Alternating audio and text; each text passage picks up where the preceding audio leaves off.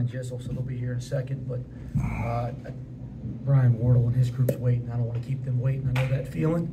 And so the sooner, uh, not that we have to be in a rush, but let's get going so we can get them back home. No opening statement? Oh, opening statement, sorry. Uh, yeah, guys, listen, I'm pleased. Uh, the job that, the job that, that Coach Wardle's done at Bradley, like I, as somebody that follows college basketball extremely closely, uh, not just at the highest level, but all throughout Division One, I, I have so much respect for the guys that have built a program. And you look at, uh, you look at where that program was when he got it. It feels like nine or ten years ago. It might be longer than that. It was in a bad place. And it didn't happen right away, but they built it up the right way. And they've now had sustained success in one of the best mid-major uh, leagues in America. Like, I don't know how many postseasons in a row of either NCAA or NIT, but it's year after year, and that's that's extremely rare. Uh, and I have a ton of respect for guys that do a job like that. He's he's one of the better coaches we have in terms of building a program and sustaining it. So, uh, because of that, I'm really pleased with, with, the win. We beat a really good team and a really good program tonight. Um, you know, listen, uh, it's it's it's great to be playing for something late in March. That's a standard we're trying to set here. Certainly, everybody knows we'd rather be playing in the NCAA, but we are playing for a championship. And I thought our guys came out and played with effort tonight. Uh, I, I, thought there was a stretch there to start the second half. We were a little lackadaisical defensively. We were making some shots, but we were lackadaisical. Challenged the guys in the timeout, and we played hard as heck there for a little bit to make a big run. Um, that's what you're supposed to do when you wear this jersey, and I thought our guys responded and did that tonight. So really happy that John got his 1,000 point. Awesome the reception that our fans gave him. I think that'll be something he'll remember forever. Uh, really, really happy for Jizzle to have his career high. I, I, it doesn't surprise me with the opportunity given. Um, he also had his, in my opinion, I said this in the locker room, career high for, for how he played defensively. And that's really neat to see the growth that he's had and you can see the future he's going to have. It's really cool. I think that's a cool thing about being able to play this time of year. I thought Dan Skillings, and for the majority of the time, with a little bit of help uh, from from John here, did a really nice job on Connor Hickman. He's a terrific player.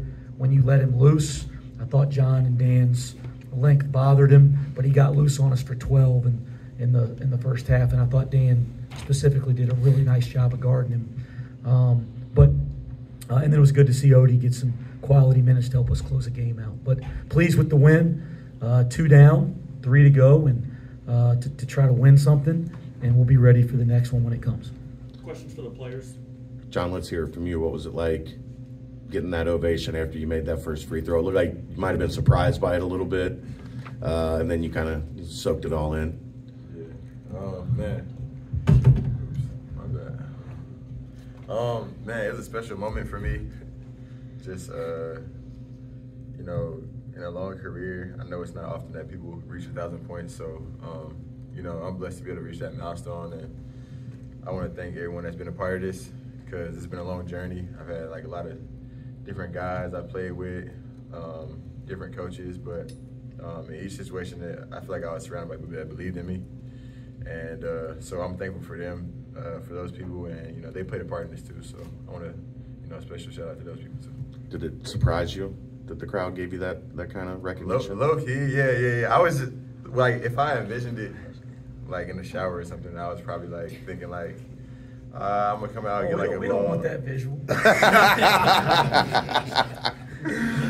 nah, yeah, uh, I, I, I did envision it going like a little different, but like it was just super. It was just so much love, you know. It, I get love here, and that's why I love it. I love the fans. I love this program. So, yeah. Jizzle, you probably knew pretty quickly after Wednesday that you were going to get the start uh, with Day Day out. Take us through your preparation and, and coming out and putting on you know your best career performance with the with the spotlight on you. Um, just doing my job, but I know I have to play more.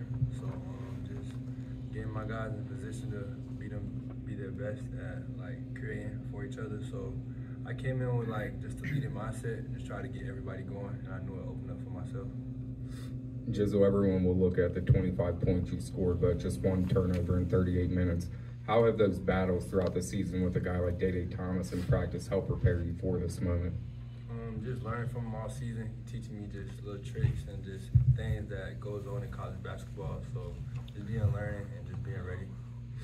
Can you talk about your mid-range game? Because a lot of guys just want to jack threes, and, and you are money from 10 to 15 feet, and it's kind of a lost art. Yeah, um, I, I perfected that shot like in high school, so I just always worked on it.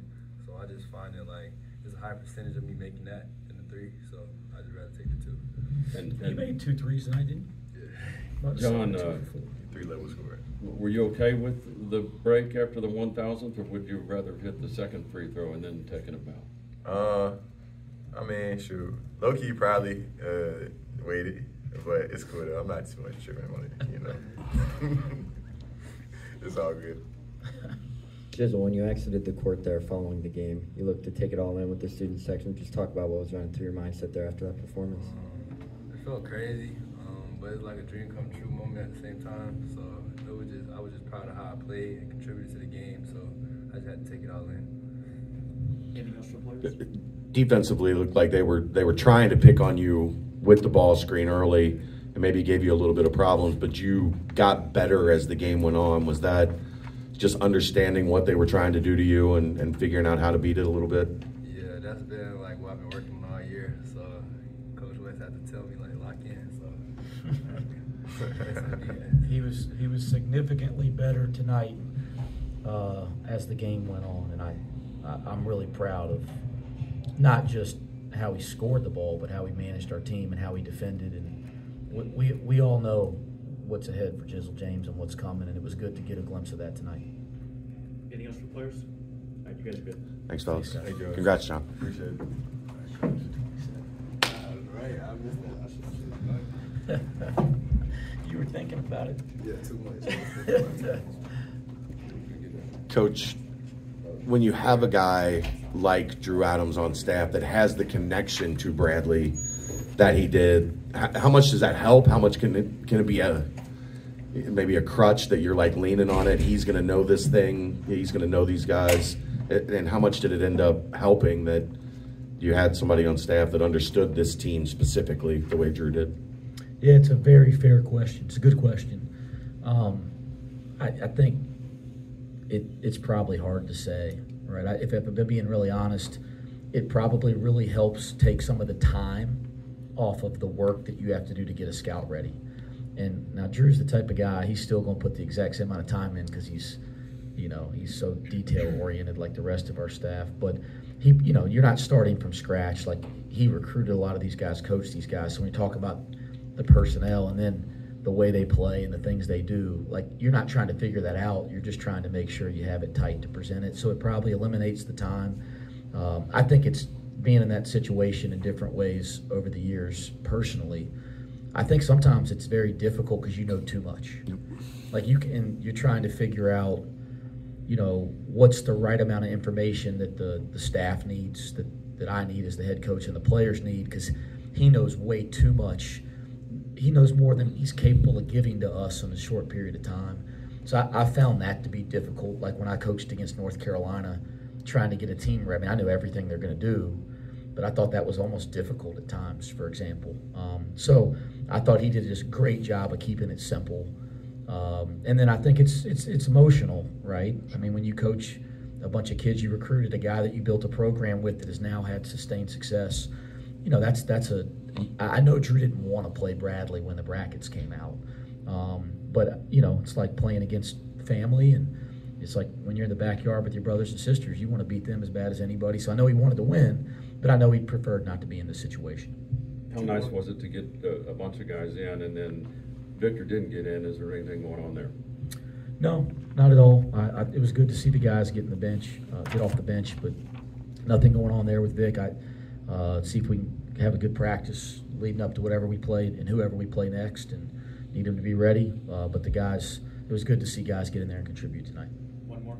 Dan got uh, 17 of his 20 uh, in the second half. Really looked like he flipped on a switch at halftime. Anything said there, or was it kind of just a mentality? Yeah, it's, it's I I thought Dan was great. I, I uh, man, I thought he really took the Hickman matchup seriously. We, we knew that was important for our team.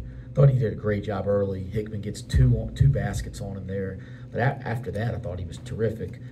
Normally, I'd play Dan with two, but because just how depleted we are, uh, you know, on the perimeter, I was really nervous to. I didn't want him to pick up a third, given our dynamic uh, with Day Day being out. So normally I'd have put him back in with two, but we have a lead, and Day Day's. You know, we don't have Day Day, so I I felt comfortable sitting him the rest of the half, and I thought he got in a better rhythm after that. So I, I didn't like having to sit him that long with two fouls, but I thought it was the right move to manage the game. Thanks, coach. Thanks, guys. Thanks, Coach.